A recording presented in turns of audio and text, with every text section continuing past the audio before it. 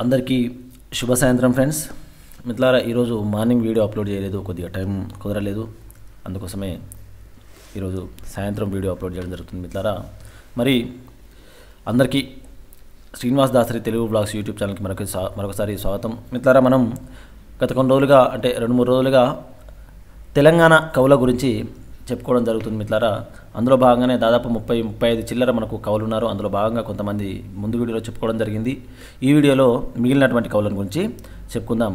మిత్రులారా మరి చిన్న అనౌన్స్మెంట్ ఏంటంటే మనకు ఈరోజు పేపర్లో వచ్చిన దాని ప్రకారం ఏంటంటే మనకు తెలంగాణ సెట్ నోటిఫికేషన్ రాబోతుంది అని ఒక రావడం జరిగింది ఇక్కడ మనకు పేపర్లో. అయితే ఈ నెల ఇరవై రెండున టీఎస్సెట్ నోటిఫికేషన్ అని మనకు పేపర్లో రావడం జరిగింది మరి. Osmania university Telangana state eligibility test TSSET twenty twenty two notification ఈ నెల ఇరవై రెండున విడుదల చేయనున్నట్లు కన్వీనర్ మురళీకృష్ణ మంగళవారం తెలిపారు. నోటిఫికేషన్ విడుదలకు అన్ని ప్రక్రియలు పూర్తి చేశామన్నారు. యూజీసీ అధికారులతో చివరి విడత చర్చల అనంతరం గతంలో రెండు వేల పంతొమ్మిది నిర్వహించిన పంతొమ్మిది నిర్వహించిన ఇరవై తొమ్మిది సబ్జెక్టులకు అర్హత పరీక్షను నిర్వహించనున్నట్లు వెల్లడించారని మనకు ఇక్కడ చెప్పడం జరిగింది. మిట్లారా మరి దీని గురించి నేను ఒక సపరేట్ వీడియో చేయొచ్చు బట్ నేను పూర్తి నోటిఫికేషన్ మనకు రిలీజ్ అయినాక దాని వివరాలు ఏంటి అనే విషయాలు నేను మొత్తం కూడా అంటే ఎలిజిబిలిటీ ఏంటి ఫీజు విషయాలు ఏంటి క్వశ్చన్ పేపర్ యొక్క ఏ విధంగా ఉంటుంది అనే విషయాలన్నీ కూడా నేను నోటిఫికేషన్ రాగానే చెప్తాను. బట్ దీనికంటే ముందు ఏంటంటే మిత్రులారా మనకు ఆల్రెడీ సెట్కు సంబంధించినటువంటి క్వశ్చన్ పేపర్ యొక్క అనాలిసిస్ నేను చేయడం జరిగింది. ఆ వీడియోలో డిస్క్రిప్షన్లో లింక్స్ ఇస్తాను ఒకసారి చూడండి. నచ్చితే తప్పకుండా లైక్ చేయండి అందరికీ. షేర్ చేయండి మిత్రులారా మనం అనుకున్నట్టుగానే తప్పకుండా డిసెంబర్ ఫస్ట్ వీక్లో వస్తుందని చెప్పాను బట్ రాలేదు. సో మరి ట్వంటీ టూ అన్నాడు కాబట్టి మేబీ లాస్ట్ వీక్ వచ్చే అవకాశం ఉంది. కంపల్సరీ ఈ పేపర్లో వచ్చింది కాబట్టి నోటిఫికేషన్ వస్తుంది కాబట్టి మిత్రులు తప్పకుండా ప్రిపేర్ అవ్వండి. మరి ఎవరైతే యూజీసీ నెట్ క్వాలిఫై కాలేదో వాళ్ళందరికీ ఒక మంచి అవకాశం అని చెప్పొచ్చు. మరి తప్పకుండా చూస్తూ ఉండండి. బుక్స్ వీలైతే కొనుక్కొని బుక్స్ కూడా చెప్పడం జరిగింది. ఇవన్నీ నేను మళ్ళొకసారి వీడియో చేస్తాను తప్పకుండా ఈ మధ్యలో. నోటిఫికేషన్ కంటే ముందు కానీ నోటిఫికేషన్ వచ్చిన తర్వాత కానీ తప్పకుండా చేస్తాను.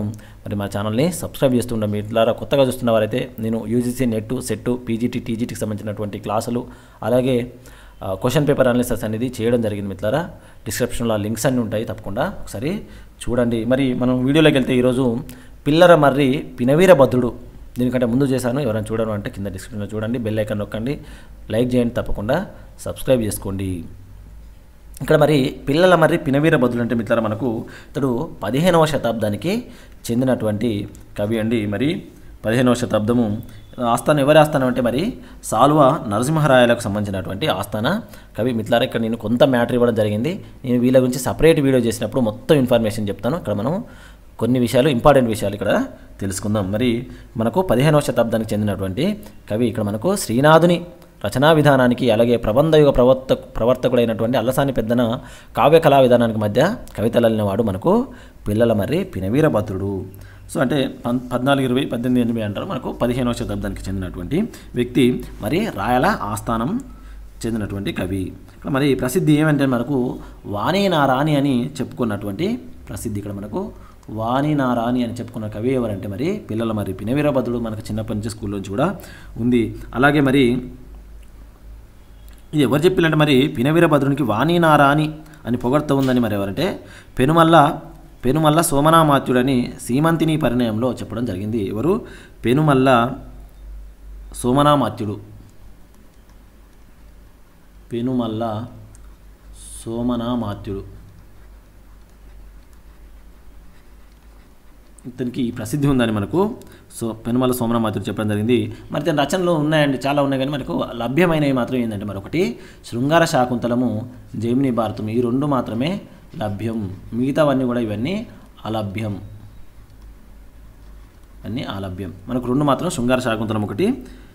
అలాగే జైమిని భారతం మనకు ఈ రెండు అవైలబుల్ మరి శృంగార శాకుంతలం ఎక్కడి నుంచి తీసుకున్నాడంటే మరి మనకు శృంగార శాకుంతలం అనేది పద్మపురాణంలో ఉందండి. ఇదే కదా మనకు పద్మపురాణంలో ఉంది.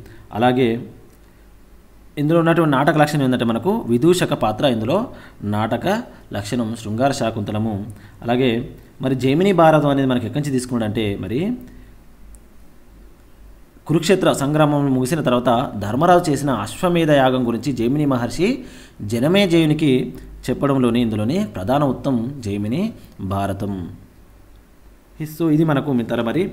దీనికి మూలం ఏంటంటే మరి ఇక్కడ శృంగార శాకుంతలానికి మూలం కాళిదాసు అభిజ్ఞాన శాకుంతలం. కాళిదాసు అభిజ్ఞాన శాకుంతలం. అభిజ్ఞాన శాకుంతలం. ఏంటి? శృంగార శాకుంతలానికి కాళిదాసు అభిజ్ఞాన శాకుంతలం మూలం. మరి జైమిని భారతానికి భారతంలో ఉన్నటువంటి కథ ప్రధాన ఇతివృత్తం. మరి ఇందులో శకుంతల జన్మ వృత్తాన్ వృత్తాంతాన్ని దుష్యంతునికి తెలియజేయడం అలాగే శకుంతల శకుంతల చలికత్తె కనుని శిష్యుడు ఇవన్నీ కూడా మనకి ఇందులో ఉంటాయి మిత్రులారా. శృంగార శాకుంతలంలో నెక్స్ట్ వెళ్ళిపోదాం మరి. బమ్మెర పోతనని బమ్మెర పోతన మనకు శ్రీనాథుని కాలంలోని వాడండి శ్రీనాథుని కాలంలోని వారే. మరి పోతన మనకు ఇతని యొక్క జన్మస్థలం ఓరుగల్లు. ఏంటి? ఓరుగల్లు లేదా వరంగల్లు? అని మనకు శేషాద్రి రమణ కవులు నిర్ధారించడం జరిగింది. మరి దీన్ని కందుకూరి మరియు కొమ్మరాజు లాంటి వారు కూడా సమర్థించడం జరిగింది. ఇంకోటి ఏంటంటే మరి కడప జిల్లా ఒంటిమిట్ట అని చెప్పడం జరుగుతుంది మిత్రులారా. ఏదేమైనా పోతన మాత్రం ఓరుగల్లుకు చెందిన వ్యక్తి అనేది అందరూ కూడా బలపరచడం జరిగింది. మరి దీని ఇతను మనకు రచనలు చూసుకుంటే భాగవతాన్ని తెలుగులో రచించినటువంటి అంటే సంస్కృతంలో వ్యాసుడు రచించినటువంటి భాగవతాన్ని తెలుగులో మనకు పోతన రచించడం జరిగింది. ఇంకా కొన్ని ఏంటంటే భోగిని దండకం వీరభద్ర విజయం నారాయణ శతకాలను రచించడం జరిగింది. సో మిత్రులారా మనకు పోతన మరి పోతనతో పాటు ఇంకా కొంతమంది కూడా భాగవతాన్ని రచించడం జరిగింది. ఇతని కాలం మనకు వచ్చేసి పద్నాలుగు పదిహేను శతాబ్దాలని చెప్పడం జరుగుతుంది. ఏంటి? పద్నాలుగు పదిహేను శతాబ్దాలు. మరి వీళ్ళ ఇతని గురువు ఎవరంటే ఇవటూరి సోమనామాత్యుడు. ఎవరు? ఇవ ఇవటూరి ఇవటూరి సోమనామాత్యుడు. ఇవటూరి సోమనామాత్యుడు గురువు. మరి ఇతని సమకాలికులు ఎవడంటే శ్రీనాథుడు అలాగే సర్వజ్ఞ సింగభూపాలుడు ప్రౌఢదేవరాయలు ఇతని యొక్క సమకాలికులు రాసుకోండి. మరి ఇతనికి ప్రసిద్ధి ఏంటంటే మరి శబ్దాలంకార ప్రియుడు. మరి ఇతని బిరుదులు చూసుకునే మనకు సహజ కవి సహజ పాండిత్య నిగర్వ చూడమని అని ఇతనికి బిరుదులు ఉన్నాయి.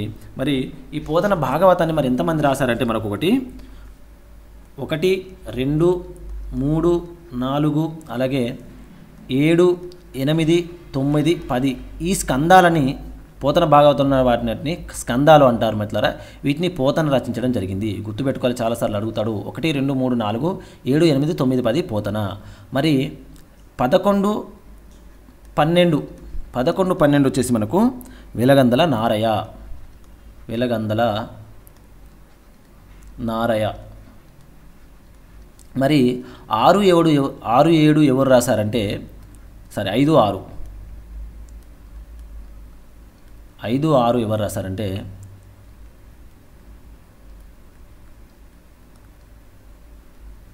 ఐదు ఆరు మనకు ఒకరు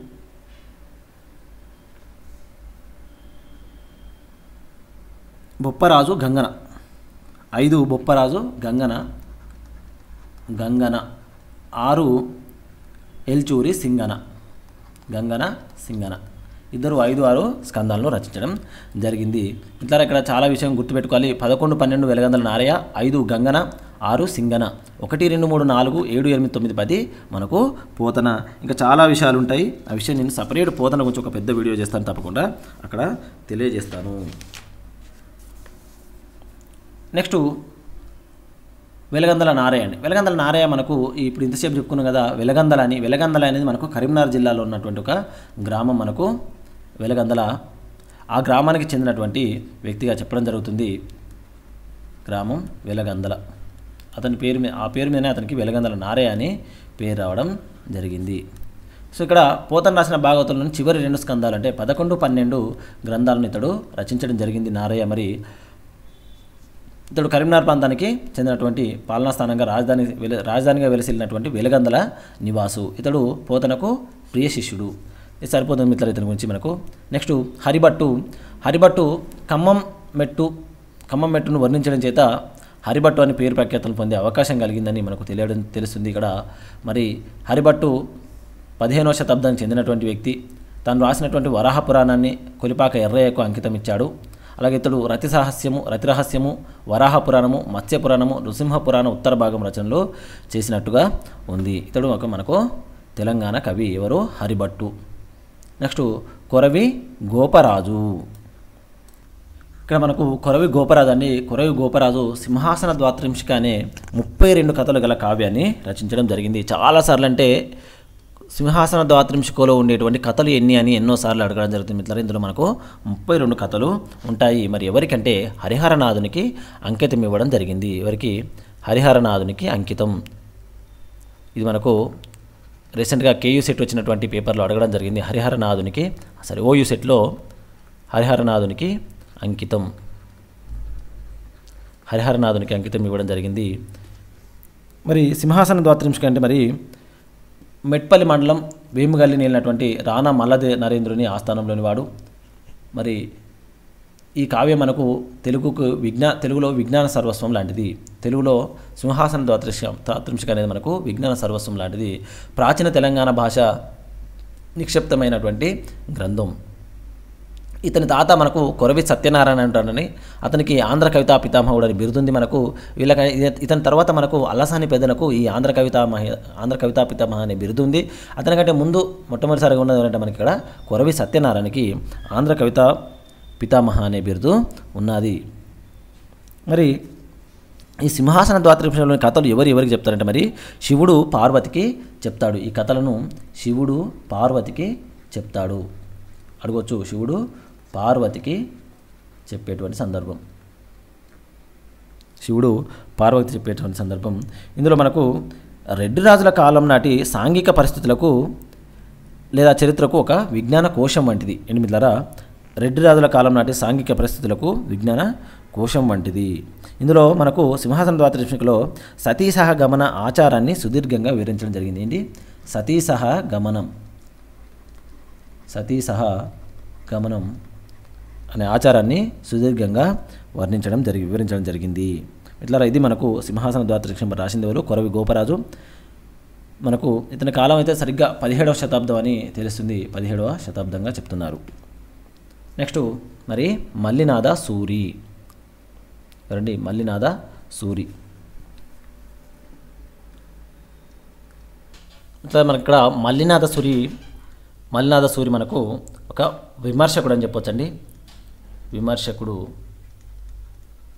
సంస్కృత సంస్కృతంలోని ఐదు మహాకావ్యాలపై ఇతడు గొప్ప కావ్యాలు రచించడం జరిగింది. ఏంటి? గొప్ప కావ్యాలుగా వ్యాఖ్యానాలు రచించడం జరిగింది. మరి ఏంటంటే ఇతని అసలు ఇతని ఊరు ఏంటంటే మనకు మెదక్ మెదక్ జిల్లా తెలంగాణలోని మెదక్ జిల్లా కొల్చారం అంటారు. కొల్చారం అంటారు లేదా కోలాచలం అంటారు. కొల్చారం లేదా కోలాచలం అంటారు. మనకు మెయిన్ అయితే మెదక్ ఇక్కడ. మరి ఇతను సంస్కృత నాటకాలైనటువంటి వాటికి వ్యాఖ్యానాలు రచించడం జరిగింది. ఇతడు మనకు ఒకటి సంస్కృతంలో ఉన్నటువంటి సంజీవని. సంజీవని అంటే ఏంటంటే ఇక్కడ మనకు సంజీవని ఇది ఒక వ్యాఖ్యానం మనం దేనికంటే కాళిదాసు రచించినటువంటి కాళిదాసు కావ్యాలైనటువంటి ఒకటి రఘువంశం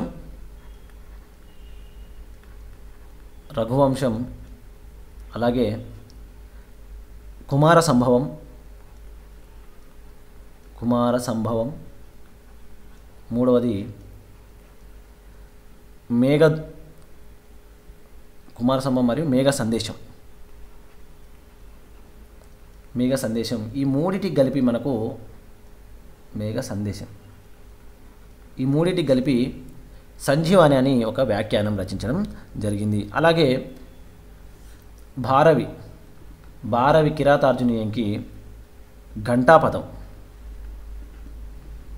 ఘంటా పదం భారవి కిరా కిరాతార్జునీయానికి ఘంటాపదం మరియు మాఘుని శిశుపాల వదకి కింద రాసుకుందాం. ఇక్కడ ఉన్నాయి ఇక్కడ. కాళిదాస్ కావ్యాలైనటువంటి ఏంటి? రఘువంశం కుమార సంభవం మరియు మేఘ సందేశం. ఇక్కడ ఉన్నాయి ఈ మూడింటికి సంజీవని సంజీవని వ్యాఖ్యానం రచించడం జరిగింది. మరి ఇక్కడ భారవి ఇక్కడ కుమార సంభవం కాదండి కిరాతార్జునీయం. కిరాతార్జునీయానికి ఘంటాపద వ్యాఖ్యాన్ని రచించాడు. అలాగే శిశుపాల వదకి మాగుని కావ్యమైనటువంటి శిశుపాల వదకి సర్వంకష అనే వ్యాఖ్యానాన్ని రచించడం జరిగింది. మరి భట్టి కావ్యం సర్వా సర్వాపదనాకి భట్టి కావ్యానికి సర్వాపిదన వాక్య అలాగే హర్ష నైషధానికి జీవాక్యు జీవాతు వాక్య అనేది రచించడం జరిగింది ఎవరు? కోల కోలచలం మల్లినాథ సూరి. ఇవి మనకు ఇతనికి ముఖ్యమైనటువంటి విషయాలు సరిపోతాయి. నెక్స్ట్ మనకు కాకునూరు అప్పకవి అండి. అప్పకవి మనకు పాలమూరు జిల్లా షేంపేట మండలంలోని కాకునూరు గ్రామానికి చెందినటువంటివి. మనకు ఇతను రాసింది ఏంటి మరి? అప్పకవియం అప్పకవియం ఏంటిదండి మరి? నన్నయ్య రచించినటువంటి ఆంధ్ర శబ్ద చింతామణికి వ్యాఖ్యానం రచించడం జరిగింది మనకు. ఎవరు అప్ప కవియం. అలాగే ఇతను మనకు పదిహేను వందల యాభై ఆరులో రచించినట్టు దీనికి ఆధారణ గ్రంథంగా చెప్తున్నారు. మరి ఏలకొచ్చి బాల సరస్వతి ఆంధ్ర శబ్ద చింతామణికి కూర్చున్నటువంటి బాల సరస్వతీయంకి కూర్చున్నటువంటి శబ్దాను టీకగా కూడా చెప్పడం జరుగుతుంది. సో ఇది మనకు కాకునూరు అప్పకవి మెయిన్గా ఏంటంటే మనకు అప్పకవియంలో చెప్పడింది వ్యాకరణానికి సంబంధించినటువంటి ఎన్నో విషయాలు కూడా మనకు అప్పకవ్యం ద్వారానే తెలుస్తున్నాయి. నెక్స్ట్ సారంగు తమ్మయ్య. ఎవరు మనకు? సారంగు తమ్మయ్య. సారంగు తమ్మయ్య మనకు గోల్కొండ సామ్రాజ్యాన్ని పాలించినటువంటి కులి కుతుబ్షా కాలం నాటి కవి. మనకు కులి కుతుబ్ షా కాలం నాటి కవి. మరి ఇతను మనకు వైజయంతి విలాసం అనే గ్రంథాన్ని రచించడం జరిగింది. వైజయంతి విలాసం అనే గ్రంథాన్ని రచించడం. ఇందులో మనకు విప్రనారాయణ చరిత్రంలోని ఒక పద్యం ఉంటుంది. అలాగే విప్రనారాయణుడు దేవదేవి అనే వారకాంత వలలో చిక్కుని భ్రష్టుడైపోవడం జరుగుతుంది. అయితే అతడు ఎలా ఉండేవాడు ఏమైపోయాడు అనే విషయాలను మనకి ఇందులో చెప్పడం జరుగుతుంది మిత్రులారా. మనకు వైజయంతి విలాసము సారంగు తమ్మయ్య చాలా ముఖ్యమైనటువంటి రచన ఎన్నోసార్లు అడగడం జరుగుతుంది. ఎవరు మనకు? గోల్కొండ రాజ్యాన్ని రచించినటువంటి కులీ కుతుబ్ షా కాలం నాటి కవి సారంగు తమ్మయ్య. మరి నెక్స్ట్ మురింగంటి సింగరాచార్యులు లేదా మరింగంటి సింగరాచార్యులు మనకు. తను కొన్ని రచనలు చూసుకుంటే దశరథ రాజనందన చరిత్ర అలాగే శుద్ధాంధ్ర నిరోష్ట సీతా కళ్యాణం తారక బ్రహ్మ రామశతకం ఇతని ప్రసిద్ధ గ్రంథాలు. ఇవి కాక ఇంకా మనకు కొన్ని అమిద్రతాలు ఉన్నట్లు కూడా తెలుస్తుంది. సరిపోతుంది ఇది. ఇతను మనకు మరంగంటి సింగరాచార్యులు. ఇక్కడ మల్లికరావుని ఆశ్రితులు గోల్కొండ జిల్లా వారని తెలుస్తుంది. అలాగే మరంగంటి ఈ మూడు మాత్రం గుర్తుపెట్టుకోవాలి మీద మనకు. దశరథ రాజనందన చరిత్ర శుద్ధాంధ్ర నిష్ఠ సీతా కళ్యాణం అలాగే తారక బ్రహ్మ రామ శతకం. ఒకసారి నిరోష్ట కావ్యాలు రాసింది ఎవరు అని అడిగే అవకాశం ఉంటుంది చాలా నిరోష్ట కావ్యాలు ఇక్కడ మనకు రాసింది మరింగంటి సింగరాచార్యులు ఇక్కడ. శుద్ధాంధ్ర నిరోష్ట సీతా కళ్యాణం. నెక్స్ట్ కందుకూరు రుద్రకవి అండి. కందుకూరు రుద్రకవి మనకు ఇతను మనకు మొ ఎక్కువ ఇతను అంటే యక్షగానం మొట్టమొదటిసారిగా యక్షగానం రచించింది ఎవరు అని అడగవచ్చు మిత్రులారా మనకు. మొట్టమొదటిసారిగా యక్షగానం మనకు కందుకూరు రుద్రకవి రచించడం జరిగింది తెలుగులో. మరి అది ఏంటంటే సుగ్రీవ విజయం. సుగ్రీవ విజయం. మొట్టమొదటి తెలుగు యక్షగానం మనకు సుగ్రీవ విజయం. ఇక్కడ కందుకూరు రుద్రకవి మనకు పదహారవ శతాబ్దానికి చెందినటువంటి తెలుగు కవి అండి. ఇట పదహారవ శతాబ్దానికి చెందిన తెలుగు కవి మనకు అయితే నిరంకుశోపాఖ్యానం అనే ఒక ప్రబంధాన్ని కూడా రచించడం జరిగింది. ఇక్కడ మనకు అలాగే సుగ్రీవ విజయం అనే తొలి యక్షగానాన్ని రచించడం జరిగింది. ఇంకా జనార్దనాష్టకం కూడా మనకు రచించ రచించడం జరిగింది. సుగ్రీవ విజయం మనకు తెలుగులో మొట్టమొదటి యక్షగానంగా చెప్పబడుతుంది. ఇంత ఉంచి సరిపోతుంది మిత్రులు మనకు. ఇతను కూడా మనకు ఎక్కడంటే ఇబ్రహీం కులీ కుతుబ్ షా సమకాలికుడు. ఇక్కడ ఇబ్రహీం కులీ కుతుబ్షా సమకాలికుడు. కులీ కుతుబ్షా సమకాలికుడు.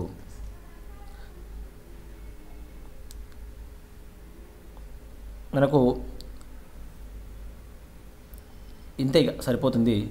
ఈ మూడైతే ముఖ్యం మనకు సుగ్రీవ విజయం శంకుశోపాఖ్యానం జనార్దనాష్టకం ఈ మూడు ఇతని యొక్క రచనలు. ఇందులో సుగ్రీవ విజయం మనకు తొలి యక్షగానంగా చెప్పబడుతుంది. ఇంకోటి ఈ జనార్దనాష్టకాన్ని కందుకూరి జనార్దన ఏంటి? కందుకూరి జనార్దన. కందుకూరి జనార్దన అనే మకుటంతో రచించడం జరిగింది. జనార్దన కందుకూరి జనార్దన అనే మకుటంతో దీన్ని రచించడం జరిగింది. అయితే తెలుగులో అష్టక రచన చేసిన వారిలో మొదటివాడు. ఏంటి? తెలుగులో అష్టక రచన చేసిన వారిలో మనకు మొదటివాడు ఎవరు? కందుకూరి రుద్రకవి. అలాగే మొట్టమొదటి మనకు అష్టక రచన కూడా జనార్దనాష్టకమే. మొట్టమొదటి అష్టక రచన కూడా మనకు జనార్దనాష్టకంగా చెప్పడం జరుగుతుంది. ఇంకా సరిపోతుందండి. ఇంతే. చాలు ఇంకా మనకి నెక్స్ట్ నెక్స్ట్ చరిగొండ ధర్మన్న కవి మనకు చరిగొండ ధర్మన్న కవి మనకు చెరు చరిగొండ ధర్మన్న కవి మరి పాలమూరు జిల్లాకు చెందినటువంటి కవి. తెలంగాణ పాలమూరు జిల్లాకు చెందినటువంటి కవి అండి. మరి ఇతను మనకు చరికొండ గ్రామానికి చెందిన కవిగా ఉండి అలాగే ధర్మన్ అదే ఆ విధంగానే మనకు చరికొండ ధర్మన్ అని పేరు రావడం జరిగింది మిత్రులారా మరి. చరికొండ గ్రామానికి చెందినటువంటి కవి. అయితే ఇతను రాసింది మనకి ఏంటంటే మరి చిత్రభారతం అనే కావ్యాన్ని కథా కావ్యాన్ని మనకు రచించడం జరిగింది. మనకు ఈ కరీంనగర్ జిల్లాకు చెందినటువంటి ధర్మపురికి చెందిన పెద్దన మంత్రికి దీన్ని ఇవ్వడం వల్ల అతనికి ఆ జిల్లా వాసిగా మనకు పరిగణించడం జరుగుతుంది. ఇతను మనకు కొన్ని బిరుదులు ఉన్నాయండి మరి ఏంటి? శత శతావధాని శతలేఖిన్యావధాన సురత్రాణ అనే బిరుదు ఉన్నట్లు మనకు చెప్పుకోవడం జరిగింది. తన గ్రంథంలో చరిగొండ ధర్మన్న పాలమూరు జిల్లాకు చెందినటువంటి వ్యక్తి అతను రచించింది మనకు చిత్రభారతాన్ని రచించడం జరిగింది. ఇది సరిపోతుంది మనకు? అంతకంటే ఎక్కువ విషయం అవసరం లేదు. ఇందులో ఉన్న చిత్రభారత యొక్క కథ ఏంటంటే కృష్ణార్జునుల కృష్ణార్జునుల యొక్క యుద్ధ గాథ. ఇంకా మనం చెప్తుందంటే గయోపాఖ్యానం ఈ గయోపాఖ్యాన కథ ఈ చిత్రమైనటువంటి భారత గాథకు అమూలకము అని చెప్తున్నారు. మెయిన్ అయితే ఇది చిత్రభారతము. శతావధాన్ని శతలేఖిన్య సుత సురత్ర అనే బిరుదులు ఉంటాయి గ్రంథాన్ని రచించడం జరిగింది ఎవరు మరి మనకు? చెరుగొండ ధర్మన్న కవి పాలమూరు జిల్లాకు చెందినటువంటి కవి. నెక్స్ట్ అద్దంకి గంగాధర కవి అండి. అద్దంకి గంగా ఇతను ఒకటి మనకు చాలా ముఖ్యమైన చాలాసార్లు ఎగ్జామ్లో అడగడం జరుగుతుంది. ప్రతి ఎగ్జామ్స్లో కూడా గుర్తుపెట్టుకోవాలి. అద్దంకి గంగాధర కవి. ఇతను మనకు గోల్కొండ రాజ్యానికి చెందినటువంటి అదే అంటే తెలంగాణ ప్రాంతంలో ఉన్న మనకు గోల్కొండ రాజ్యానికి చెందినటువంటి ఇబ్రహీం కులీ కుతుబ్ షా ఆస్థానం ఉన్న కవి. ఏంటి? ఇబ్రహీం కులీ కుతుబ్ షా ఆస్థాన కవి. ఇబ్రహీం కులీ కుతుబ్ షా ఆస్థాన కవి. ఆస్థాన కవి. అయితే భారతంలో ఉన్నటువంటి ఏంటి? భారతంలో మహాభారతంలో ఉన్నటువంటి తపతీ సంవరుల కథను స్వీకరించి భారతం దీని ఈ పర తపతీ సంవర్ణోపాఖ్యానం అనే గ్రంథాన్ని రచించడం జరిగింది. దీనికి మూలకం ఏంటంటే మరి భారతంలో ఉన్నటువంటి తపతీ సంవరుల కథ. తపతి సంవరుల కథను తీసుకొని మనకు కావ్యంగా రచించడం జరిగింది. దీన్ని ఎవరికంటే మరి ఇబ్రహీం కుతుబ్ షాకే అంకితం ఇవ్వడం జరిగింది. ఎవరికి? ఓకే ఇక్కడ కదా మనకు. దీన్ని ఇబ్రహీం కుతుబ్ షాకు అంకితం చేయడం జరిగింది. ఏంటి? తపతి సమనోపాఖ్యం ఇక్కడ గుర్తుపెట్టుకోవాలి మిత్రులారా మొట్టమొదటిసారిగా మహమ్మదీయ ఈ ఈ క్వశ్చన్ కూడా మనకు పిహెచ్డి ఎగ్జామ్లో రాయడం జరిగింది. మహమ్మదీయ కవికి మొట్టమొదటిసారిగా అంకితం తీసుకున్నది ఎవరంటే ఇక్కడ మనకు అద్దంకి గంగాధర కవి తపతి సంవర్ణోపాఖ్యాన్ని మొట్టమొదటిసారిగా మహమ్మదీయ కవి అయినటువంటి ఇబ్రహీం కులీ కుతుబ్ షాకి అంకితం ఇవ్వడం జరిగింది. ఈ పాయింట్ రాసుకోవాలి. మొట్టమొదటిసారిగా ఒక తెలుగు కావ్యాన్ని ఇబ్రహీం కులీ కుతుబ్ షా మహమ్మదీయ కవికి అంకితం ఇవ్వడం జరిగింది. అది ఏంటిది మరి? అద్దంకి గంగాధర కవి తపతే సంవర్ణోపాఖ్యానము. ఈ విషయం మనకు క్వశ్చన్లో అడగడం జరిగింది. ఇది రాసుకోండి. ఇంకా సరిపోతుంది. నెక్స్ట్ పునగంటి తెలగన. ఇతను కూడా మనకు చాలా ఇంపార్టెంట్ అంటే ఇక్కడ మనకు తపతి సంవర్ణ పాఖ్యానం కూడా మనకు ఒక ప్రబంధంగానే చెప్పుకోవాలి. ప్రబంధ కావ్యంగానే చెప్పుకోవాలి తపతి సంవర్ణ పాఖ్యానం నెక్స్ట్ పొరకంటి తెలగన ఇతడు మనకు పదహారవ శతాబ్దం చెందినటువంటి వ్యక్తి మిత్రులారా పదహారవ శతాబ్దం మనకు అంటే పరిశోధకులు అయితే పదహారవ శతాబ్దంగా నేను నిర్ధారించడం జరిగింది. ఇతడు మనకు మెదక్ జిల్లాలో ఉన్నటువంటి పటాన్ చెరువు లేదా పొటన్ చెరువు గుర్తుపెట్టుకోవాలి. మెదక్ జిల్లా పటాన్ చెరువు ఇప్పుడు మనం పటాన్ చెరువు అంటాం. అప్పుడు పొటన్ చెరువు అనేవారు. లేదా పొట్ల చెరువు అనేవారు. ఆ గ్రామాన్ని పునగని తెలవన నివాసం మరి ఇతను మనకు ఏయాతి చరిత్రను రచించడం జరిగింది. ఏంటి? ఏయాతి చరిత్ర అనే అచ్చతెనుగు కావ్యాన్ని రచించడం జరిగింది. మనకు అచ్చతెనుగు కావ్యాల్లో తొలి కావ్యంగా చెప్పబడుతుంది. ఏంటిది? ఏయాతి చరిత్ర. ఏయాతి చరిత్ర? మనకు పొనగంటి తెలుగున మనకు మొట్టమొదటి తెలుగు రచయిత అని కూడా చెప్తారు మిత్రులుగా మనకు సరైన అయితే ఇక్కడ కాదు. మనకు ఈ యాతి చరిత్ర అమీన్ ఖాన్కి ఎవరికి? అమీన్ ఖాన్కి అంకితం ఇవ్వడం జరిగింది. ఎవరికి? అమీన్ ఖాన్కి అంకితం ఇవ్వడం జరిగింది. ఇక్కడ మనకు గోల్కొండ ఆస్థాన కవి అలాగే ఏ అతి చరిత్ర అని తెలుగు అచ్చతెనుగు కావ్యాన్ని రచించడం జరిగింది. ఎవరికి? అమీన్ ఖాన్కి అంకితం ఇవ్వడం జరిగింది. అదే ఎవరు మరి ఇతను కూడా అతడే. మరి ఎవరు మరి? ఇబ్రహీం కుతుబ్ షా. అర్థమవుతుందా? ఏయాతి చరిత్రను గోల్కొండ సామ్రాజ్యాన్ని పాలించినటువంటి ఇబ్రహీం కుతుబ్ షా దగ్గర అమీన్ ఖాన్గా ఉన్నట్టు అమీన్గా ఉన్నటువంటి అమీన్ ఖాన్కి ఏయాతి చరిత్రను అంకితం ఇవ్వడం జరిగింది. ఈ అబ్రహీ ఇబ్రహీం కుతుబ్ షా ఇంతసేపు చెప్పలేను ఇబ్రహీం కుతుబ్ షానే మల్కిబరాముడు అని అంటారండి ఇక్కడ గుర్తుపెట్టుకోండి. ఇబ్రహీం కుతుబ్ షానే మల్కిబరాముడు అంటారు చాలా ఇంపార్టెంట్ గుర్తుపెట్టుకోండి. మల్కిబ రాముడు ఏంటి? ఇబ్రహీం కుతుబ్ షాకే పేరు మల్కిబరాముడు అని పేరు. నెక్స్ట్ నేతి కృష్ణయ్య మాత్యుడు అని ఒక మన కవి ఉన్నాడండి పెద్ద ఇంపార్టెంట్ లేదు బట్ గుర్తు రాసుకోండి కొద్దిగా. సకల నీతి కథా సంగ్రహము రాజనీతి శాస్త్రము అనంతగిరి మహాత్యము అనే కావ్యాలు రచించడం జరిగింది. మరి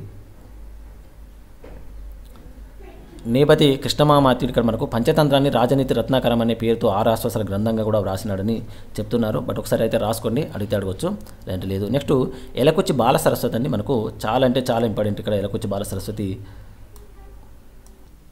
ఇక్కడ మనకు ఎలకొచ్చి బాల సరస్వతి ఇతని యొక్క అసలు పేరు ఏంటంటే మరి మిత్రులారా?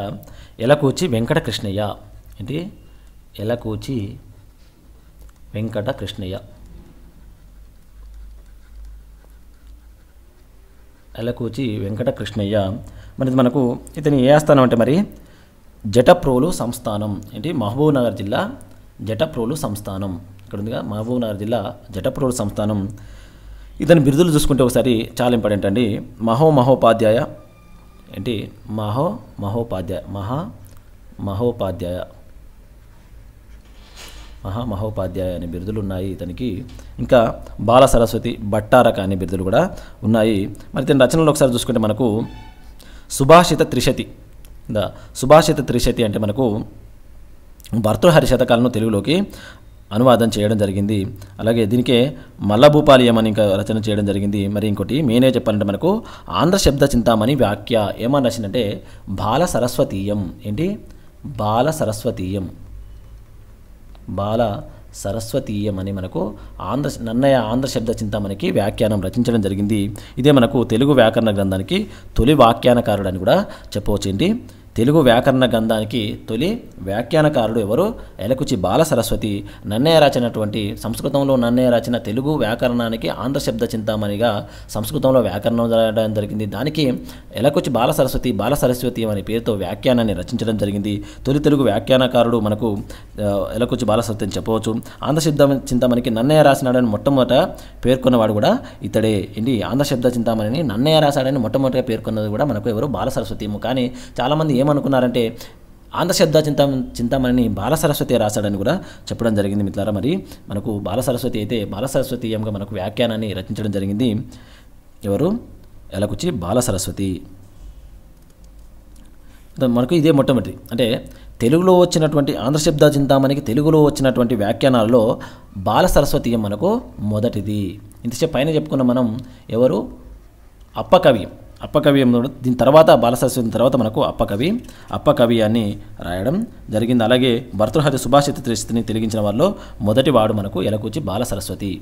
ఏంటి? సుభాషిత తిరిగించిన వారిలో మొదటి వారు మనకు ఎలకుచి బాల సరస్వతి. ఇంకా మల్లభూపాయలం చంద్రికాపర్ణ ఇవన్నీ కూడా రచించడం జరిగింది. ఈ మూడైతే మనకు చాలా ఇంపార్టెంట్. ఎలకుచి బాల సరస్వతి గుర్తుపెట్టుకోవాలి. పదిహేడవ శతాబ్దానికి చెందినటువంటి కవి. నెక్స్ట్ ఇవన్నీ ఉన్నాయి కదా ఇక్కడ. ఇంకా మనకు ఒక త్రద్ది కావ్యాన్ని కూడా రచించడం జరిగింది మరి ఏంది? రాఘవ యాదవ పాండవ్యంను ఎలకొచ్చి ఇది ఒకటి మనకు త్రద్ది కావ్యం. ఏంటి? ఎవరికి అంకితం ఇచ్చిన మరి దీన్ని? తిరుపతి వెంకటేశ్వర స్వామికి అంకితం ఇవ్వడం జరిగింది. ఆంధ్ర శబ్ద చింతమని వ్యాఖ్య.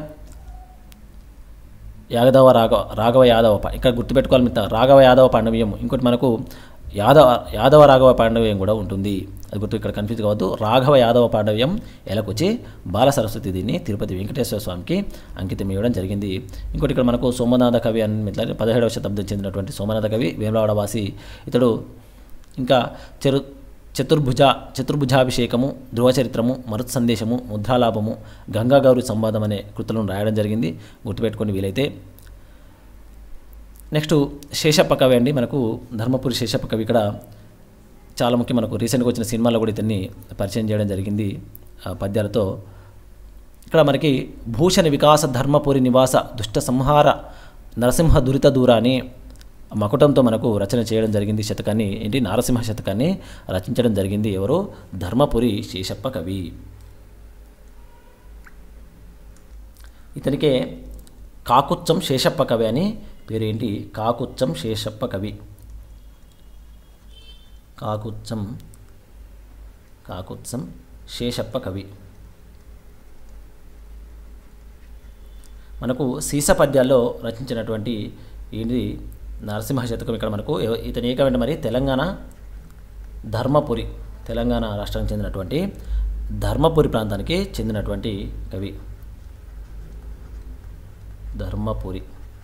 మనకు పద్దెనిమిదవ శతాబ్దానికి చెందిన కవి ఇక్కడ ఉంది కదా మనకు.